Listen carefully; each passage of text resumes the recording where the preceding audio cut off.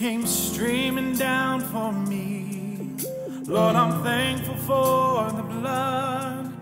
When I think of Calvary, if it had not been for Jesus, don't know where I would be. If it had not been for mercy and the blood he shed for me.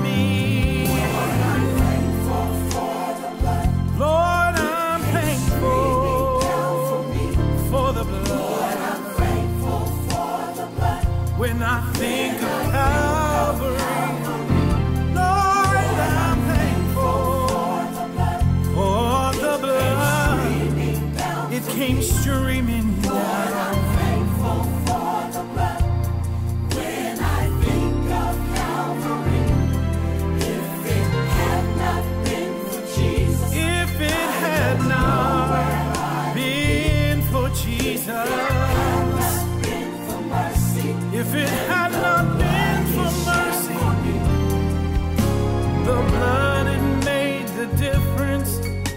the world redemption's plan. There's no greater.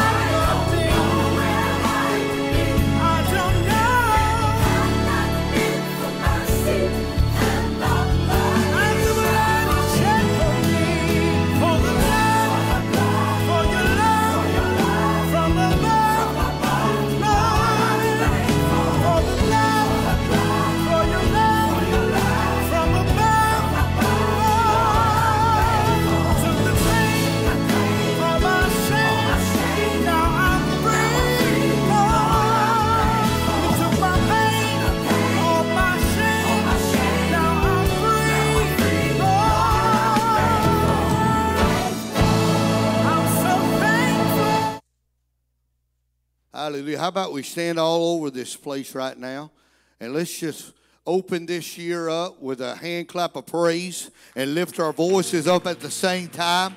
Come on. We worship you, God. We worship you, Holy Ghost. Thank you for your goodness. Thank you that you brought us through another year, God.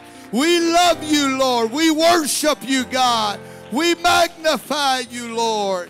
Hallelujah. Hallelujah. Welcome everybody here at the house of the Lord. I'm excited to see you here. And I decided, I'm glad that you made it through another year. Hallelujah. God kept us and protected us and watched over us. And, but I'm glad that today is another day and another year that I can still serve the Lord. I'm glad I'm still in the church. Said, I'm glad I'm still in the church. Hallelujah. Hallelujah. Let's open this thing up with prayer right now. If you have a need, you can make your way around the front. We'll pray for you. God, we love you. We ask you right now to have your perfect will in this place, God, to minister in this sanctuary, God, according to your will and according to your way. We ask you, God, as your word goes forth, that it goes forth with free course without hindrance, oh God. We want it to saturate our hearts and our souls and our mind and our spirit. Lord, in Jesus' name. Why don't we worship the Lord right now? Sister Haley, she sings.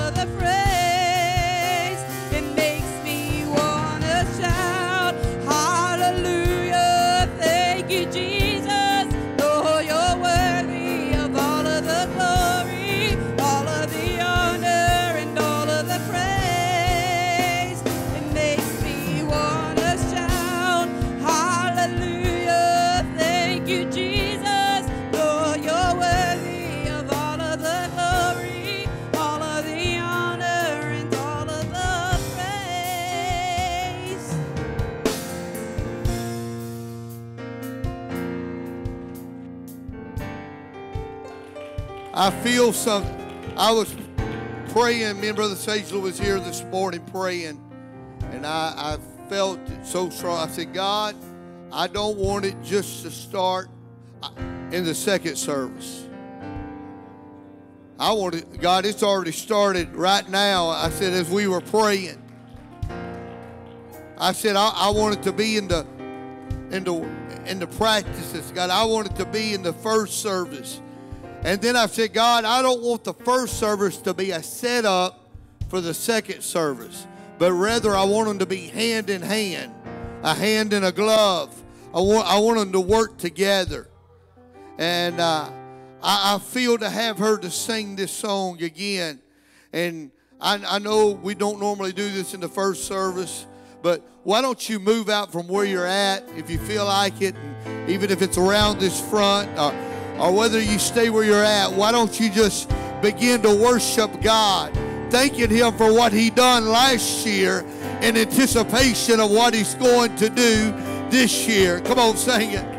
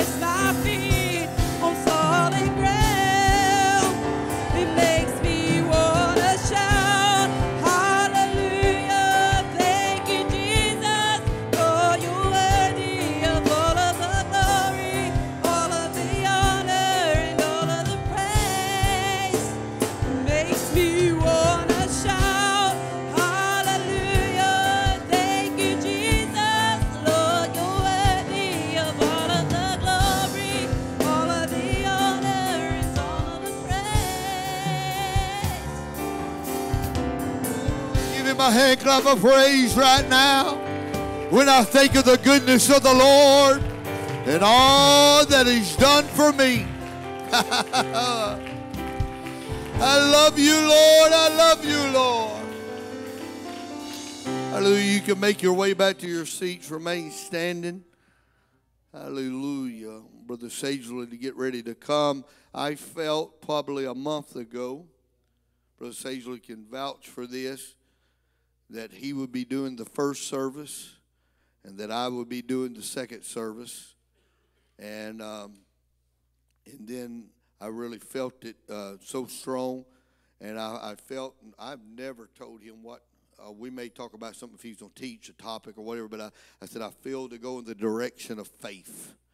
I said, I, I really feel uh, that, that in this service, and I said, I'm, I'm going to do the second service and do it the same way. And, uh, and, and he agreed. And so I want him to get ready to come. Appreciate him so much uh, for his loyalty, and I appreciate for what he does for this church. Hallelujah. Sister Sagely, too. Appreciate it very, very much, all that she's done. Hallelujah. And I'm uh, so thankful for that. But I want him to come, take his liberty in the Holy Ghost. How going to help him? Hallelujah, Brother Sagely. Hallelujah. Praise the Lord, everyone. Praise the Lord. So good to be in the house of the Lord today. Tell you, I count it a privilege to be able to start off the revival of 2023. He could have had uh, he could have had Cody Marks here preaching today, but he chose me. I appreciate that, brother. But uh, it is good to be in the house of the Lord. I appreciate Brother Mills, my pastor, my man of God, giving me this opportunity today uh, to speak to the greatest church, I believe, on earth. To be honest with you, you know, I'm sure the I'm sure the I'm sure the people down the road uh, probably feel the same way that I feel about their church. I'm sure it's so good to have Brother Marty Shimwell with us. I'm sure he feels that way about Union City. But uh, you ought to you ought to think your church is the best. Praise the Lord. Praise the Lord. If you don't feel that way, well, that's your problem. Praise the Lord. But uh, I do appreciate this church. I love this church. Matter of fact, Brother Mills talked earlier about us being here um, praying earlier today. And I can tell you, I prayed for every one of you here if you're a part of this church. And uh, I'm going to tell you that the devil did not turn in his resignation yesterday. If he fought you in 2022, and this ain't my message, if he fought you in 2022, he's going to fight you in 2023. So you might as well go ahead and, and get your mind made up that, that you're going to be in the battle, you're going to fight, and you're not going to give up because he's going to keep coming at you. If you're here today and you have children and not living for God, and that, that you, you trusting is going to begin to live for God this year, you better have faith. You better have a made up mind that you're not going to give up on them, that you're going to keep praying for them, you're going to keep reaching for them. Praise the Lord. If the devil's fight, I pray for marriages. I pray for I pray for young couples, and I pray for their marriages. I, I pray for older. I pray for my marriage. If the devil has fought your marriage in the past, he's going to fight your marriage in the future. He's not going to give up. He's not going to stop. He's going to fight you every step of the way. You have to make your mind up to fight him and overcome him. Praise the Lord. I don't know where all that come from, but I felt to say it. If you have your Bible, turn to 1 Peter chapter 1. Going to be reading verses 3 through 12. Brother Mills mentioned he, he, he asked that we speak on the topic of faith, and mine may be totally different from his, but uh, I feel like this is the what the Lord has given me to share. But if you if you have it, say amen. 1 Peter 1 3 through 12. It says, Blessed be the God and Father of our Lord Jesus Christ, which according to his abundant mercy hath begotten us again unto a lively hope by the resurrection of Jesus Christ from the dead, to an inheritance incorruptible and undefiled, and that fadeth not away, reserved in heaven for you, who are kept by the power of God through faith unto salvation, ready to be revealed in the last time. Wherein ye greatly rejoice, though now for a season, if be if need be, ye are in heaviness through manifold temptations, that the trial of your faith, being much more precious than gold that perisheth, though it be tried with fire, might be found unto praise and honor and glory at the appearing of Jesus Christ, whom having not seen ye love, in whom though now ye see him not, yet believing ye rejoice with joy unspeakable and full of glory, receiving the end of your faith, even the salvation of your souls of which salvation the prophets have inquired and searched diligently, who prophesied of the grace that should come unto you, searching of what manner of time the Spirit of Christ which was in them did signify when it testified beforehand the sufferings of Christ and the glory that should follow. Unto whom it was revealed that not unto themselves, but unto us they did minister the things which are now reported unto you by them that have preached the gospel unto you with the Holy Ghost sent down from heaven, which things the angels desire to look into. Pastor Mills, if you would pray.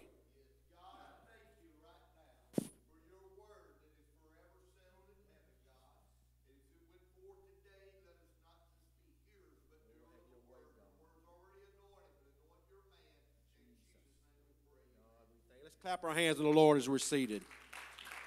Praise the Lord. In his book, Six Hours One Friday, Max Lucado tells the story of how he and his boat survived a hurricane. An old man gave Max the advice to take his boat to deep water, drop four anchors off each corner of the boat, and pray that the anchors held. Max survived that storm, but he says that he learned an important lesson all of us need an anchor that will hold during the storms of life. If I could, for just a little while today, I want to talk to you on the subject of anchored faith. Anchored faith. Faith is our anchor. What have you, I ask you today, what have you put your faith in? How important is it to have faith, Brother Worley? Where do you find a faith strong enough to make it through the storms of life. Peter knows how important faith is, and he gives us a great picture of faith a faith that we can anchor deep with, a faith which will hold us during the storms of life. I can tell you right now, from the very onset of this message, you will not make it through some things in life without faith. You will not make it through some storms that you go through in life without faith and where you have that faith anchored at. Praise the Lord. When Peter wrote this letter, things were changing. In the beginning of the first century church, the government remained unconcerned about this new religious sect. As the church grew, the constructions of the government, constrictions of the government increased. Peter is writing to a people who are finding it increasingly difficult to live their faith. Even today, you may say that being a Christian is not easy. But we must find, you and I must find a way to live out our faith. You and I must find a way to get some determination to make it through the things that you're going through. If, if you don't have a backbone, you're not going to make it. If you don't have an anchor of faith, you're not going to make it in this hour that we live in. Praise the Lord. Peter helps us gain some insight into how, into how to live an authentic Christian or Christ-centered faith in the midst of most difficult times. Anybody ever been through a hard time?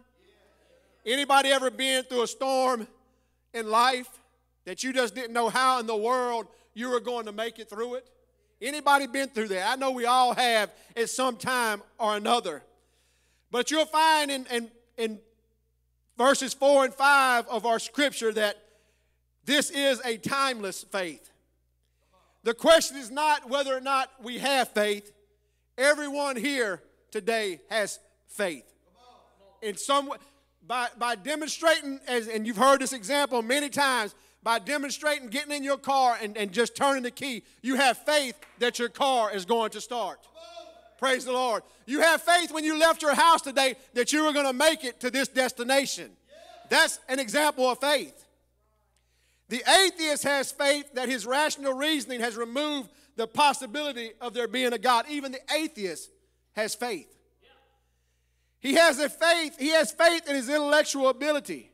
Others have faith in their abilities, their skills, their connections, their friends, their family and even in themselves. If you don't have your faith in, in, in anything else, you need to have faith in yourself. Right.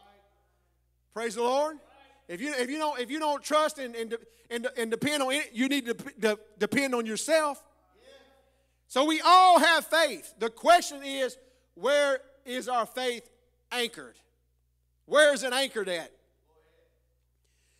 Sooner or later, the storms of life will begin to blow, and then the question becomes will the anchor of faith hold? Will what I have it tied to, will it hold?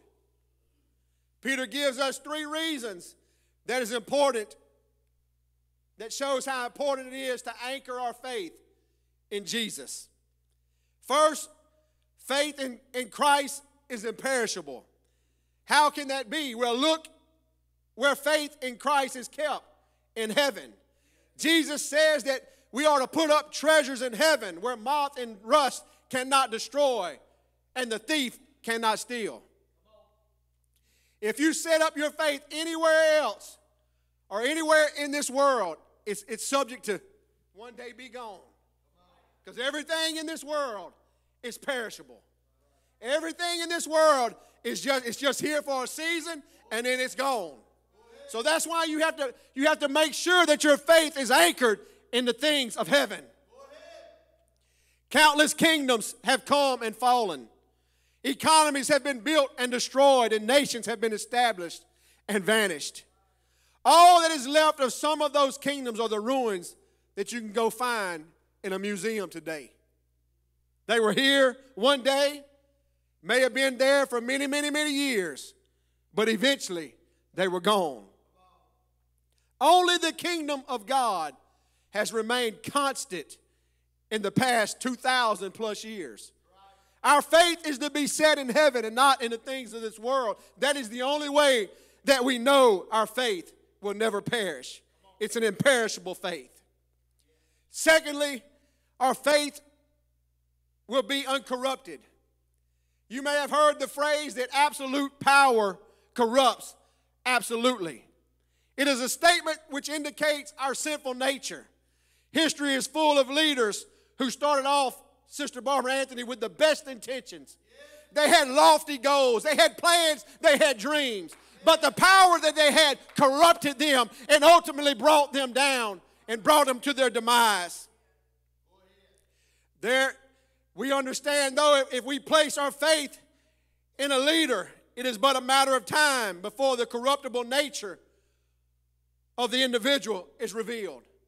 Every one of us, as much as I love my man of God, as much as I, as highly as I esteem him, he's corruptible. He, he's, he walks around, brother, brother Shimwell, in this flesh, and this flesh can never be perfected. So if you put your faith only, and I'm just using him as an example because I know he don't mind. If you only put your faith in him and you don't put your faith no farther than him, you're going to be disappointed. He's gonna, he's gonna do something, he's gonna say something that you don't like, whether it's justified for you to be upset. Or, you're gonna find a reason to find fault in a man. That's why you have to put your faith in the King of Kings and the Lord of Lords, who can never be corrupted, who is perfect from, from the beginning of time. He was perfect. There's no pride or ego in the power of Jesus. In the scope of eternity, Jesus is the only person who has absolute power.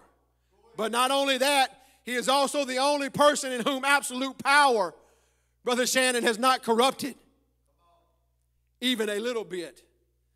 Our faith can only be incorruptible when it's placed in Jesus. Praise the Lord. Thirdly, our faith in the Lord is unfading. I know of a lot of people, and you probably do too, that they go through fads in life. I, have been that person. Bro, I, look, I played pickleball for four months.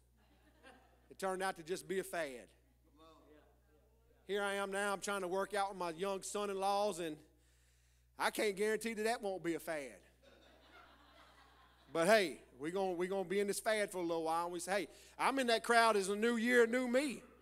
Ain't that what everybody does every year? New year, new me? Well, I'm just trying, so we'll see how long it lasts. Praise the Lord. My shoulder hurts right now, I can tell you that much.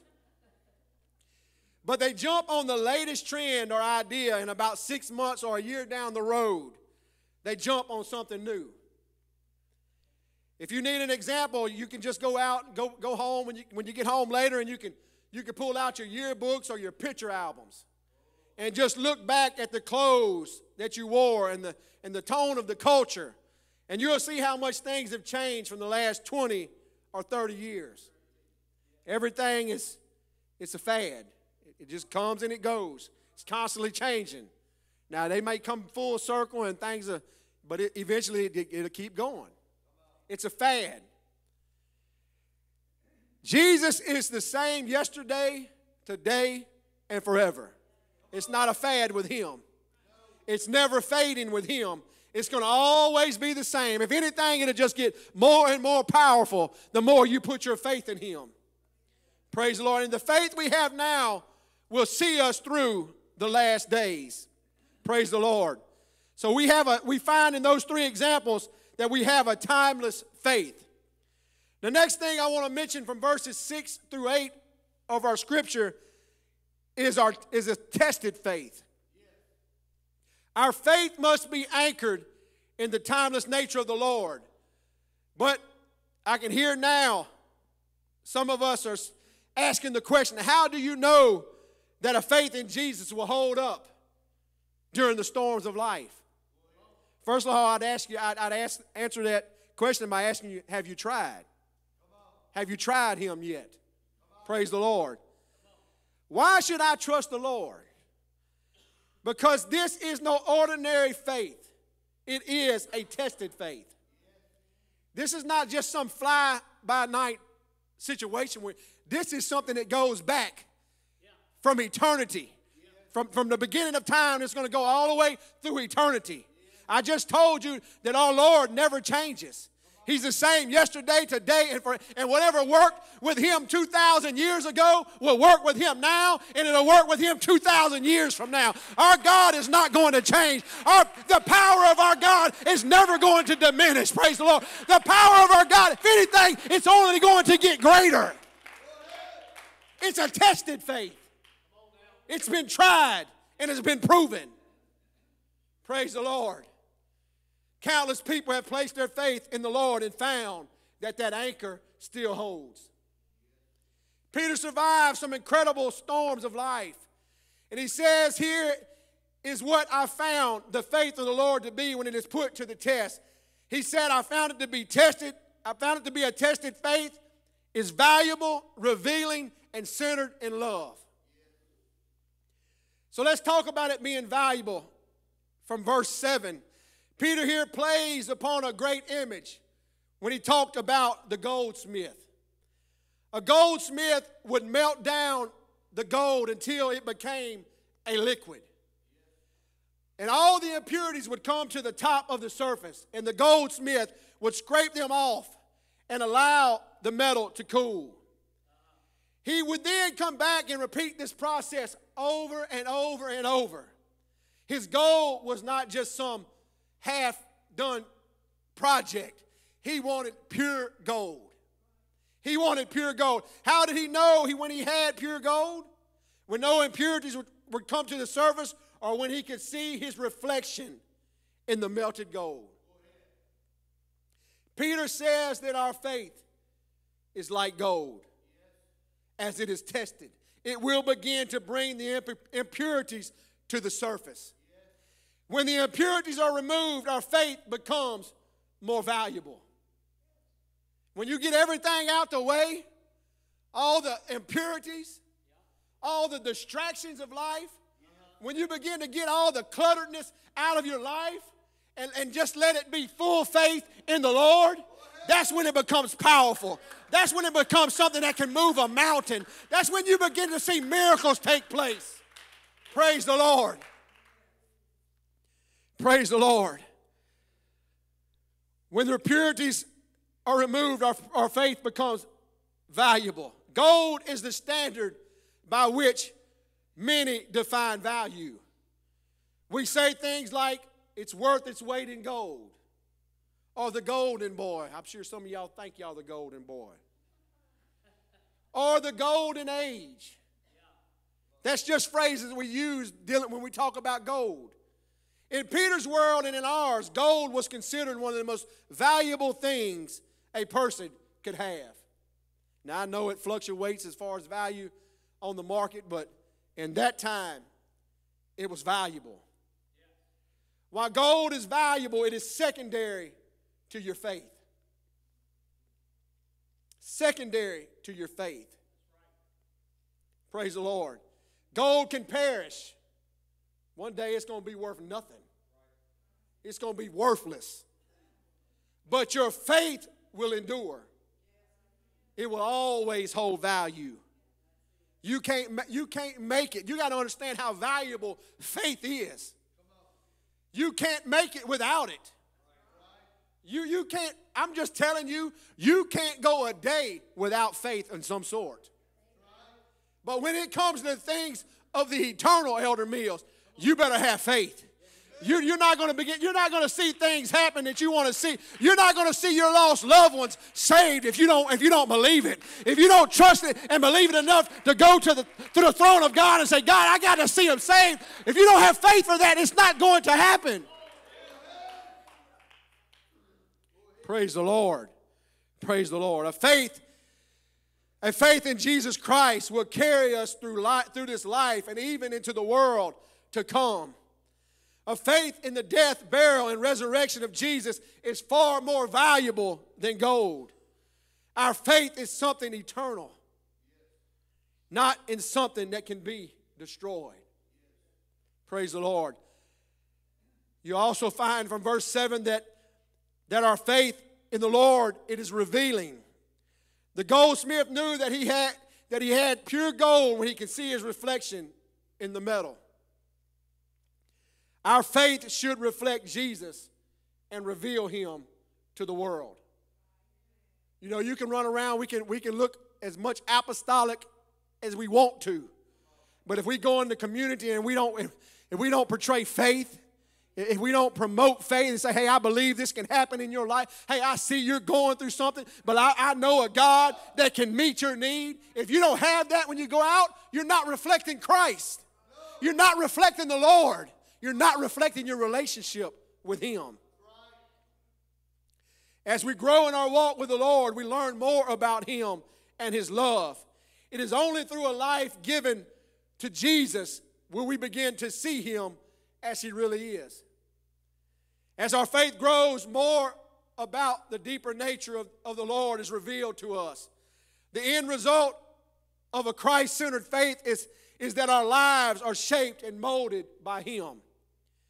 In order, you, for, in order for you to get where you need to be in your walk with God, you got to have faith. You got to have faith for that. Our faith begins to reflect that, that deeper knowledge of Jesus. Our lives will begin to change when you and I live differently because our faith is growing. Those around us will begin to see the difference. I don't want them to see the old Scott. I don't want them to see what I used to be. I want them to see what I'm becoming and what I'm trusting God to bring me to. That's the kind of faith that I want. I'm trusting God to bring me all the way to where He wants me to be. I don't want to I don't want to stop halfway. I want to have faith that I'm going to make it all the way. Praise the Lord. Just as the goldsmith knew he had pure gold, when he looked into the metal and could see his reflection, Jesus desires to see his reflection in you and I. That can only happen in a refined, a refined faith that has been tested. In verse 8, you'll find that, that our faith is centered on our love for the Lord. Peter talks about how we love Christ even though we have not seen him. In Hebrews, we have the very definition of faith, and you know, very familiar. It says, Now faith is the substance of things hoped for, but the evidence of things not seen. The essence of faith is it does not require our sight. We don't have to see it to know that it is real or that it is coming. We don't have to be able to lay our eyes on it. How many of you have seen Jesus? But do you believe he's coming? Amen. Amen. Just because something is not seen does not negate its existence. I'll give you another example. Have you ever seen your brain other than on an x ray? I'm willing to bet every single one of us here has a brain and we haven't seen it. Now, I will admit, and I will acknowledge it, and I may be in this group, that some brains work to a higher function than others. But we all have a brain. And I'll put myself in that group. But we all have one. Peter says that real faith and loving a Christ you have never seen, but still knows that he exists. You know, some people have a hard time believing in something in things, Sister Alexander, that they haven't seen. They, they have a hard time getting a hold of, of it because they can't see it and they can't put their hands on it. They can't touch it. But that's the very essence of faith. Do you trust him or not? Do you believe do you do you put your anchor in him, your anchor of faith in him or not? That's what faith is. Last thing I want to want to talk about, and you'll find from verses 10 through 12, is true faith. True faith. And I hope I'm, I hope I'm delivering this good, I guess. Thank you. In our postmodern world, we often hear the statement that what works for you may not work for me. And this is true. This is true. My son in laws, they're stronger than me. So the, the weight that they that they may put on it, it may work for them, but Brother Shannon ain't gonna work for me. Not at this point. I, I need a little time.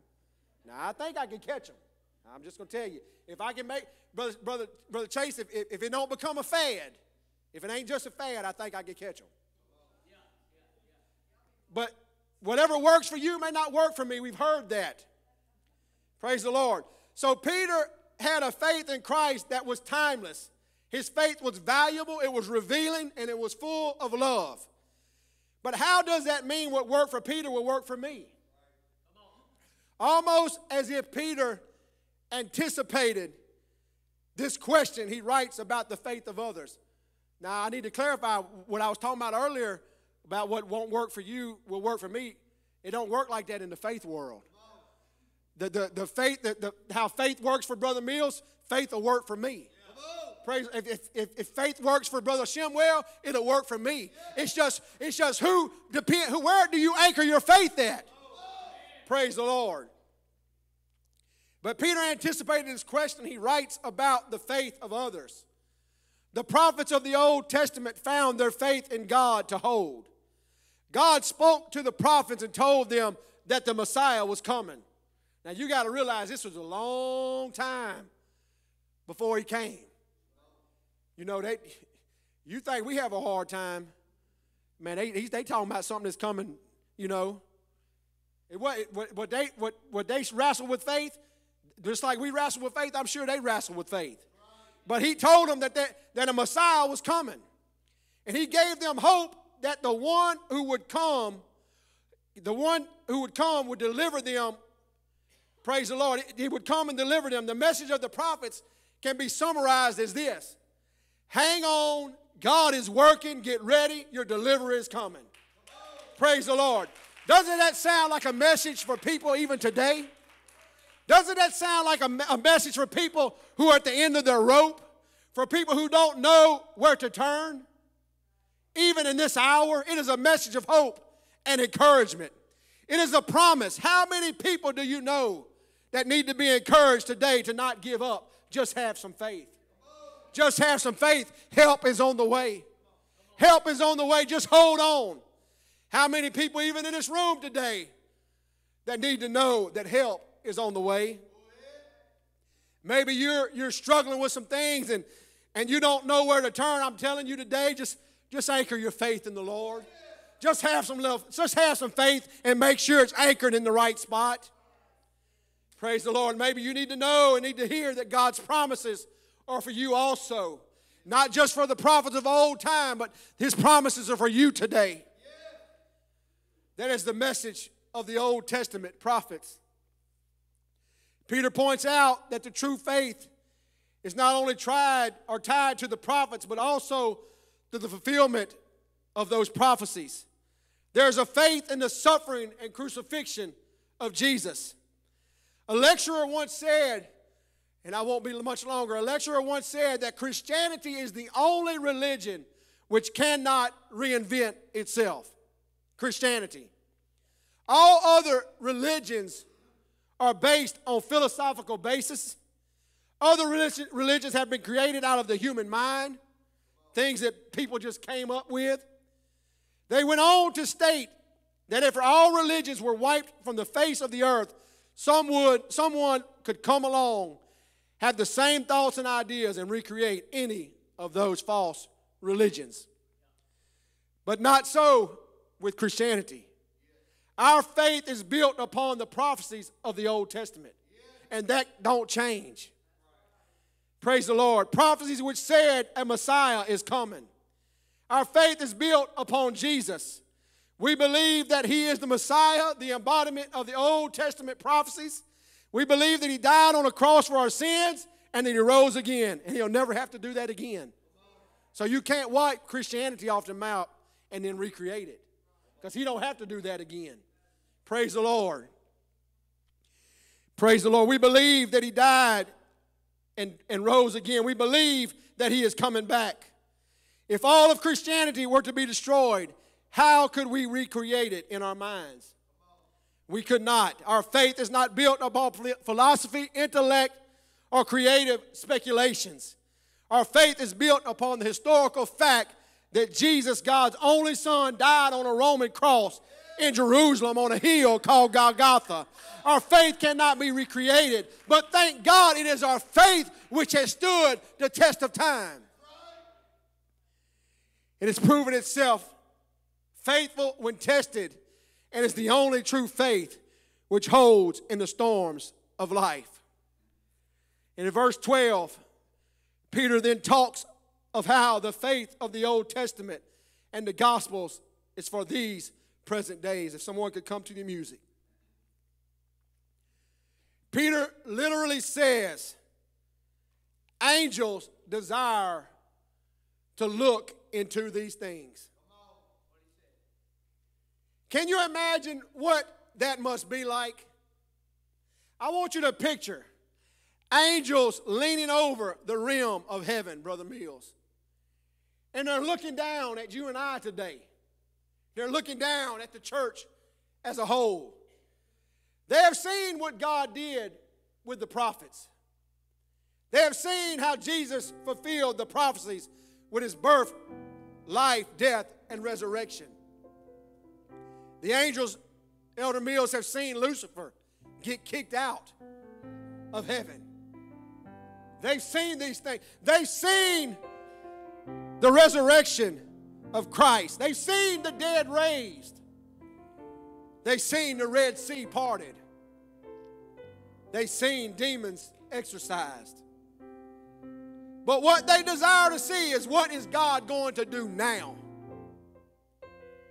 What is God going to do amongst his people now in this hour?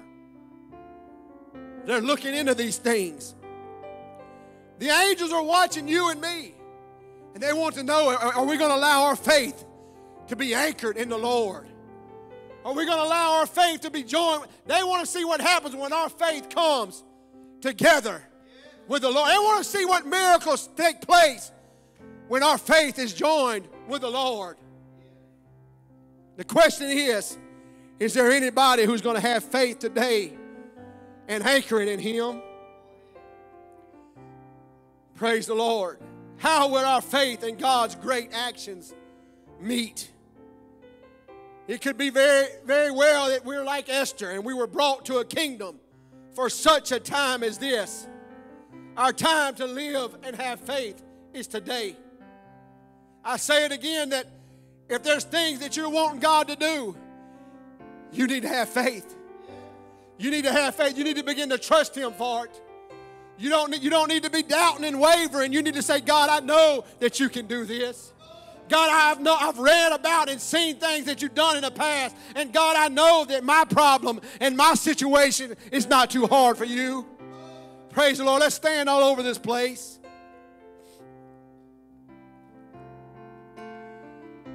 In closing, I want to say that again, all of us have faith, but will you anchor your faith to the Lord? When the storms of life come your way, will your anchor hold? Will you be able to say, I put all my trust in Him, the one who is able to keep me and get me through? It's not a question today of if you have faith or not. It's not a question of if the storms of life will come. The question is, will your anchor hold? Time to anchor your hope and faith to Jesus is now, before the next storm comes. If you're in the middle of something right now and you're, you're needing to trust God today, I want to open these altars to you. I want to open the front of this church to everybody to come down and say, God, oh, I put my faith in you. God, I know that you're the only one, God. You're the only one, God, that can help. You're the only one, God, that can make me help me see my miracle. You're the only one, God, that can help me see my lost loved one saved. I open the front of this church up right now. Would somebody come? Hallelujah, hallelujah. Oh, as she sings, let's just talk to the Lord for a few moments. Though the ship is battered, Hallelujah, hallelujah.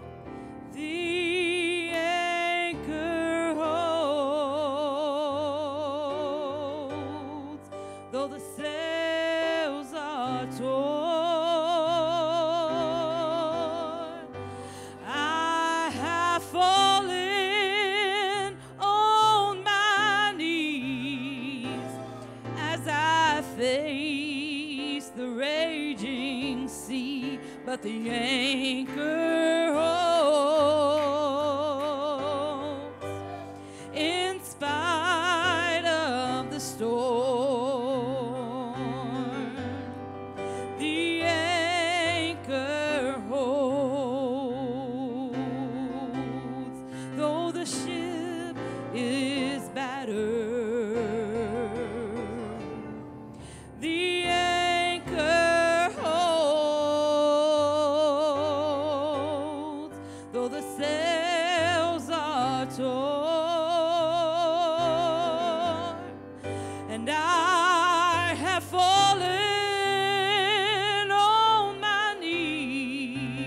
Hallelujah. Would you link up with someone for just the next few moments as she sings? Let's link up with someone and pray with them.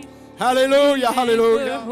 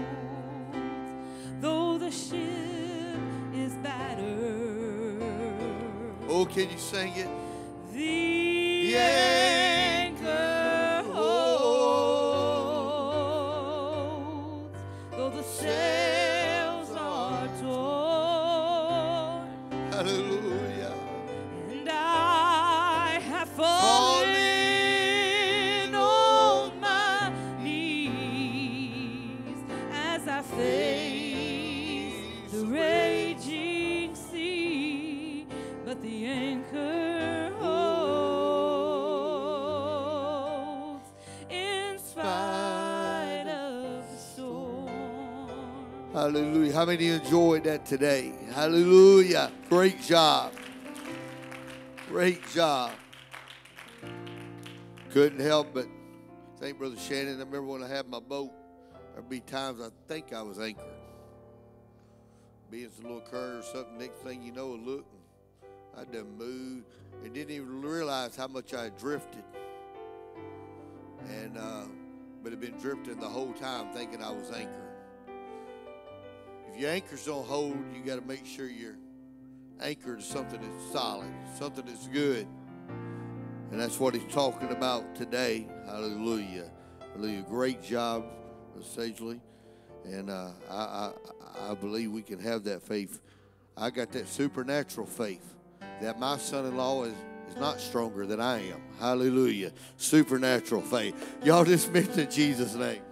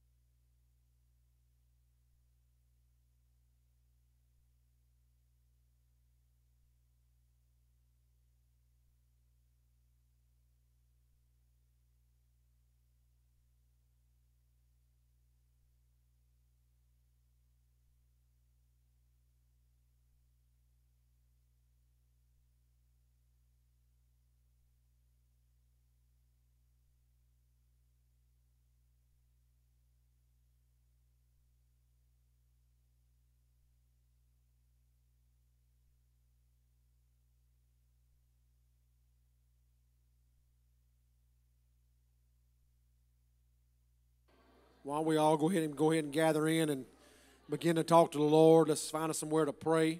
Turn our attention to Him in this next service. We're looking forward to what God's going to do in this place.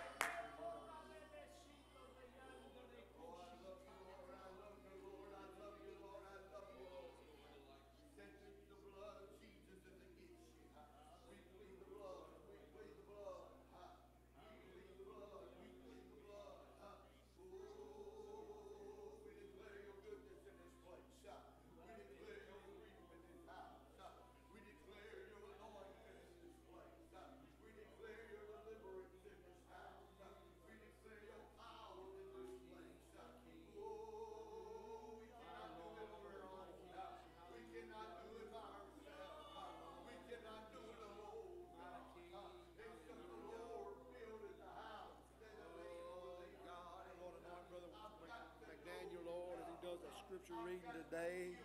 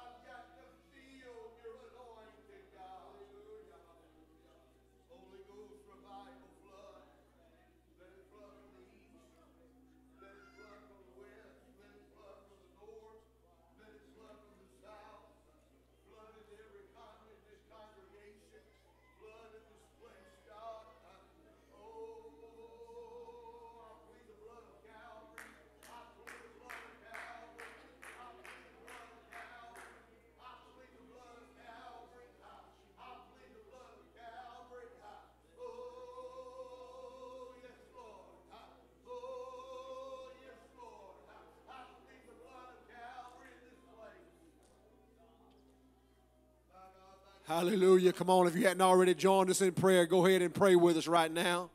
Hallelujah. You want God to use the man of God in this place. We want him to use the singers and the musicians in this place today. Hallelujah. God, we come to you, Lord. We ask you, God, for your strength and help in this place, God. Lord, we want you to have your way in the house. We want your perfect will, God, to be done in this place. Hallelujah. It all, it all starts in pre service prayer. Hallelujah, hallelujah, hallelujah. Oh, we lift you up, King.